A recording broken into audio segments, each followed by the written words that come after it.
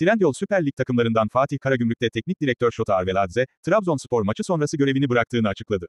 İşte ayrıntılar. Son dakika spor haberleri. Süper Lig ekiplerinden Fatih Karagümrük'te flash bir gelişme yaşandı. İstanbul temsilcisinde, Trabzonspor karşısında alınan 5 ila 1'lik yenilginin ardından teknik direktör Şota Arveladze, görevini bıraktığını açıkladı. İşte Şota'nın o sözleri. Burada oynamak her zaman zor, iyi başladık ama kötü bitirdik. Bu kadar zor deplasman olmasına rağmen güvenerek geldik, iyi bir haftada geçirdik ama sahada her şey kötü oldu.